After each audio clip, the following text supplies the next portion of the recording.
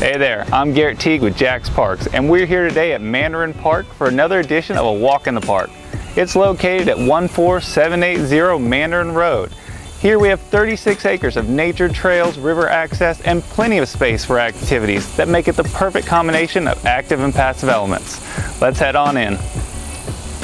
The main road into the park lets you drive your vehicle all the way down to the St. Johns River. As you come in on the right, you'll pass the tennis and shuffleboard courts.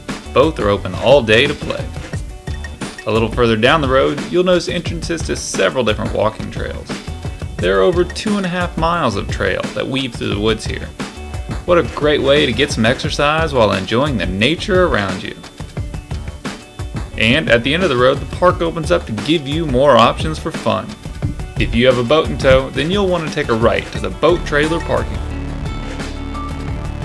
But if you take a left, the road will bring you to the Mandarin Park Visitors Center. Make time for a short tour and learn all about the plentiful animal and plant life in the park. Right next to the Nature Center is an open grove complete with multiple playscapes, picnic pavilions available for reservation, and a large multi-use field that's ideal for family games.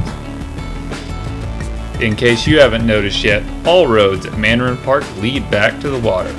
There you'll find a shaded kayak launch site, and a slight walk to the right you'll see the boardwalk and boat ramp. As you can see the boat ramp is wide and there's a floating dock nearby. That combination means less congestion and faster launching on busy days. At the wooden boardwalk next to the ramp, you can enjoy a different kind of water access. Bring your pole and try some fishing, or just relax on the built-in benches of this gazebo and enjoy the views of the St. Johns. If you're lucky, you'll even catch a glimpse of the endangered manatees in their natural habitat.